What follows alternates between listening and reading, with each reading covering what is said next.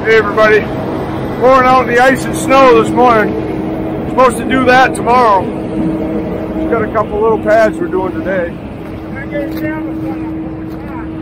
Everything's frozen. Got some snow and rain yesterday, below freezing right now. Uh, we're gonna try to get. We had that pack cover. We uncovered everything there. Got a little pad over there to do. Gonna try to get these done today.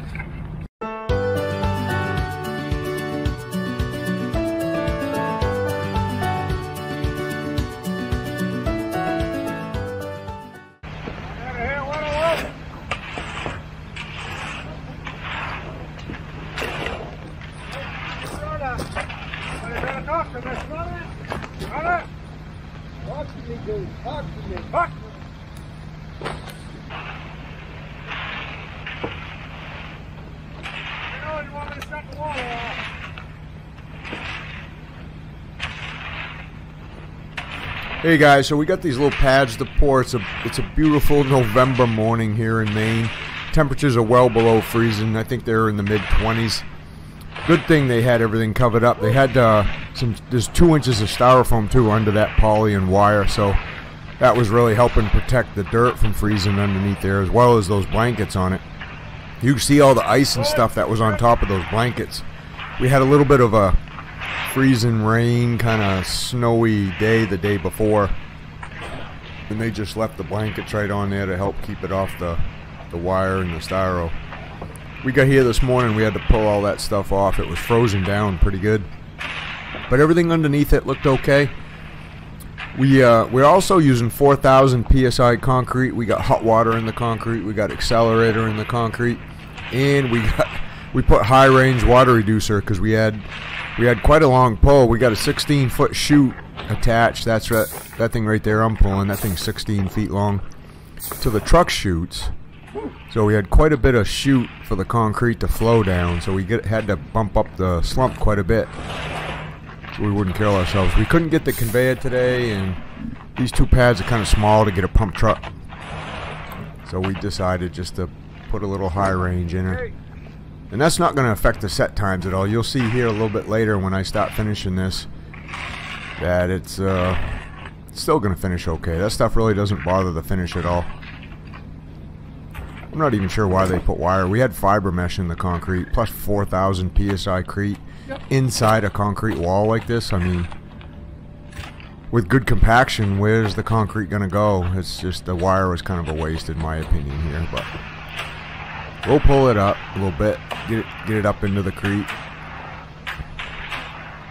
Quite a bit of pulling involved. We, the stone in this stuff is is a blend. It's like three quarter inch stone with a a little bit of three eight stone, so it's actually not a bad floor mix.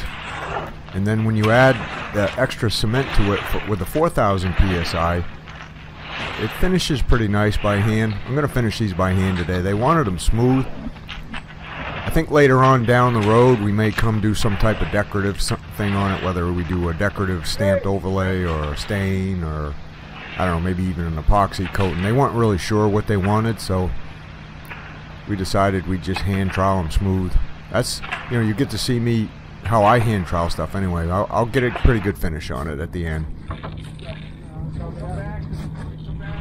It's also hunting season here in Maine, deer hunting. There was a deer hunter out in the woods this morning when we got here. Probably kind of interrupted his day. he probably didn't know we was coming today, but oh well. The mud was on the road, so we couldn't cancel.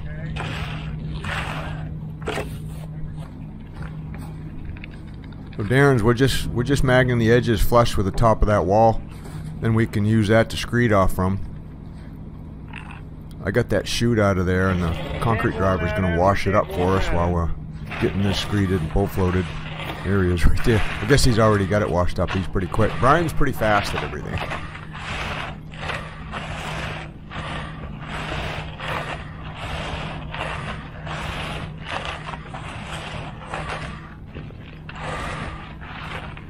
That's me over there on the right, screeding on the right. I got my heated Milwaukee jacket on. I I don't know. I get cold fast. Working 40 over 40 years out in Maine winters. I don't know. It doesn't take very much for me to get cold. As soon as temperatures start dropping into the 30s, I, I start getting cold pretty quick, especially my hands. But that heated jacket, you know, I'll put that on. It's got a little Milwaukee battery that, that hooks into it. You hit the on button and it really helps keep you warm. I'll have a link for that. If you guys want to check them out, you know, I was a little skeptical at first, but I really like it. I mean, I use it. I wear it all the time in the winter. I actually got two of them. I got this kind of like this sweatshirt one, and then I got the regular coat. When I use both of them together, that keeps that keeps me pretty toasty warm.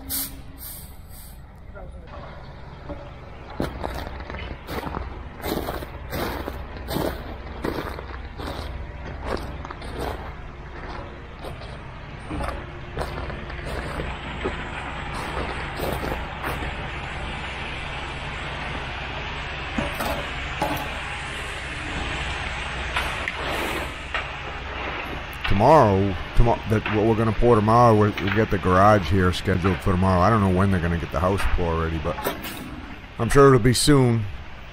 But the guys are laying the the radiant heat in the house. They got the styrofoam, the wire down in there, and they're putting the radiant heat in the the garage floor so we can get that poured tomorrow. Otherwise, we probably would have poured it today along with these two things.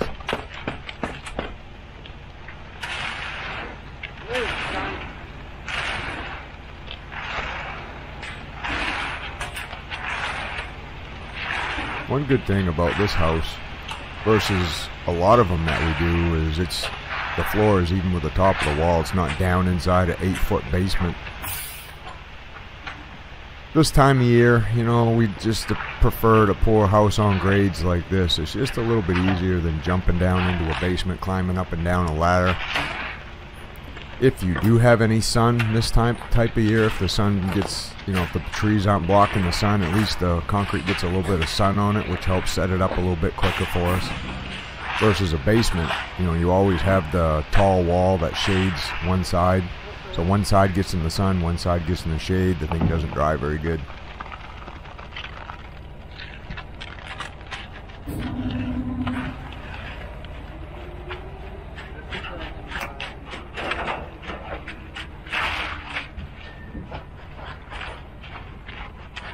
We definitely had plenty of mud.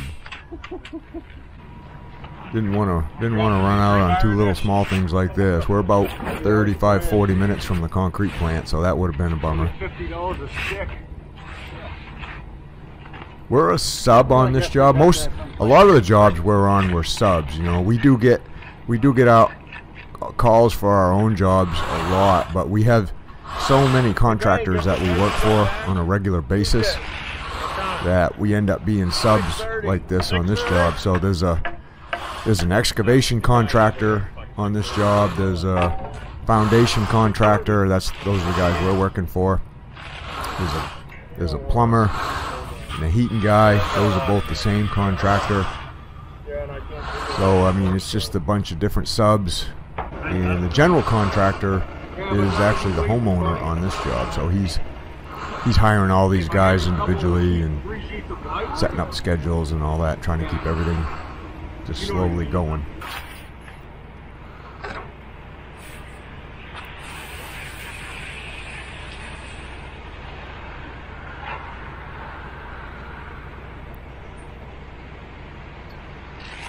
Trying to go real slow with the bull float to close up the surface really nice. That way, when I do get on it, to finish it by hand. You know, the surface is already pretty darn smooth. I don't want any aggregate showing or any holes or anything like that. I just want a nice smooth bull voltage, bull floated surface.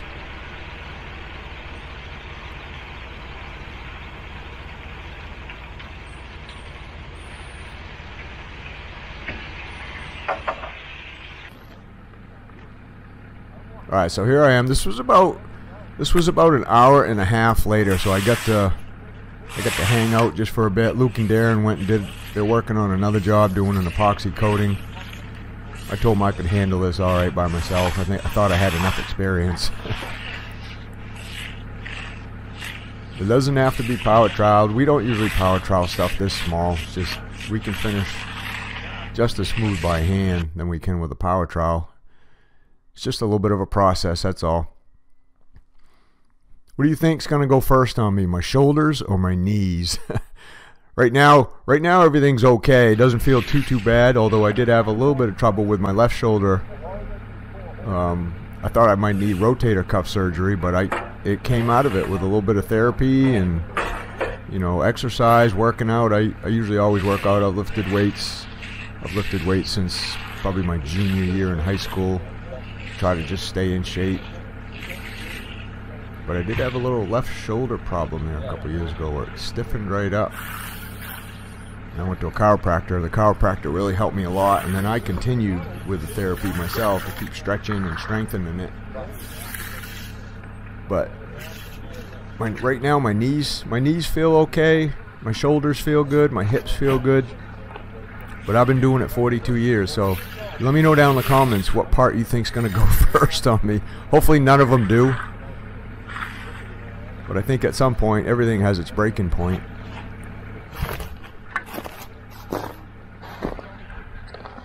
Alright, so we're going to go from that one back to the other one. I kept pretty I kept pretty busy after after this stuff started to go, but you know, from one to the other. I had a few minutes in between hits. I think I hit these a total of three or four times a piece to get it to the smoothness I wanted to get it at. Luckily with this one I didn't have to use my knee boards, but I did have to kneel on that concrete wall, which didn't help my knees any. I do have knee pads. I, I should have just busted out my knee pads, I guess. Those are insulated pants, though, so that was good. They're a little thicker than normal. It, it didn't really bother my knees too bad unless I need kneel down on a rock or something. But the Crete seemed to smooth out pretty nice. It wasn't it wasn't too, too sticky. Sometimes it'll kind of want to stick to the bottom of your trowel as you get going here. And this stuff didn't give me too many problems. I just had to, I had to let it set up enough in between hits so it would look a little bit smoother each time I hit it. Another another thing we'll have trouble with sometimes is when we use these skids as the concrete sets up gets firmer on top. A little, you know, little pieces will want to stick to the bottom of the skids as you slide them, and you'll end up pulling up like little chunks, like maybe the size of a dime or a nickel or a quarter. And then you gotta, you know, almost work as hard to fill in those little pieces as you move backwards as you do to trowel the floor. But this one, this one didn't do it at all on any of the hits, so that made finishing it a little bit easier. Maybe Maybe because it wasn't curing up too fast, it was pretty cold out. The ice and the snow and the stuff you see didn't really melt very fast, or some of it didn't melt at all during the day. So even with the sun out, it wasn't a very good melting day at all. that's my second pass with the hand trowel. So I mag floated it, let it sit, hand troweled it, let it sit, second troweled it, now I'm going to let it sit again. I'm going to come up and buzz this this front one out. This will be the second hand trowel on this one. I'm going to give it a few more minutes and then and then it's probably around 11 11:30 in the morning right now. We got here mud showed up about 7:30. So for a day where we showed up in the 20s, it's it's curing up pretty good. You can see those guys over there in the garage laying the radiant heat. they got their hoodies on too. It's still pretty chilly out. Look at all that uh, snow and stuff in front of the garage.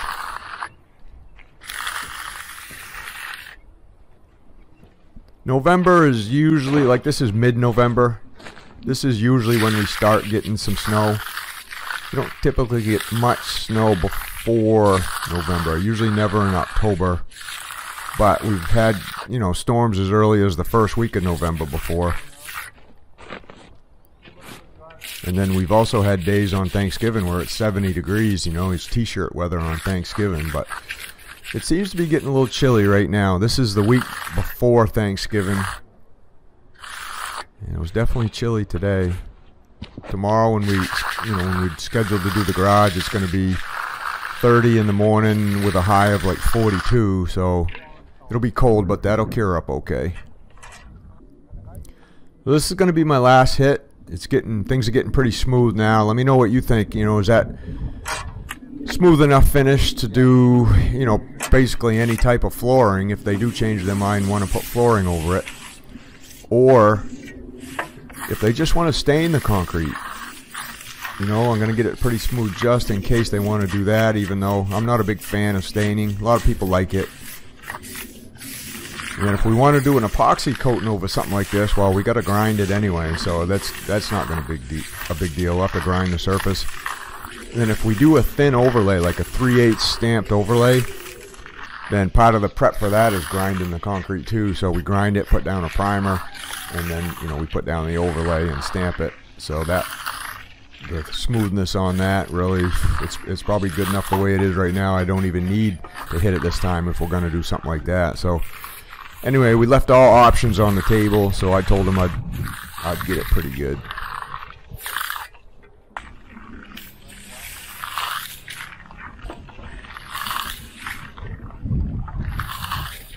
This is usually when you'll pick up a pretty good chunk right here is when you go to get off these things, these skids. And take them off the concrete. If you don't slide them as you take them off, if you just lift them straight up, you're going to pick up a big chunk. So the key is just to slide them a little bit, pick them up as you slide them. And you'll see here in a second, I still left a little bit of a kind of a scar, I guess if you want to call it. Not really, I didn't really lift out a chunk, but you see that little thing up in there. But that wiped out pretty easy.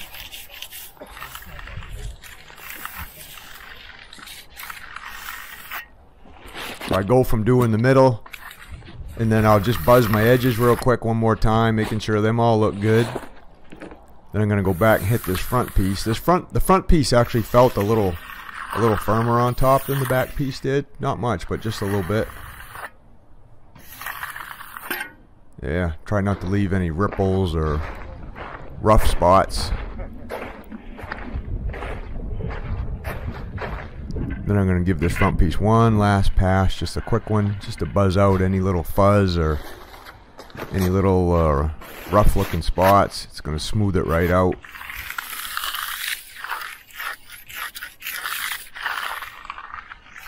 And that'll be the finished surface right there, at least for the winter until springtime.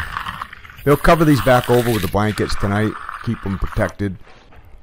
That way the concrete doesn't freeze. If you just leave them like this and the, and the temperatures get below freezing, there's a really good chance that top eighth inch of concrete will freeze.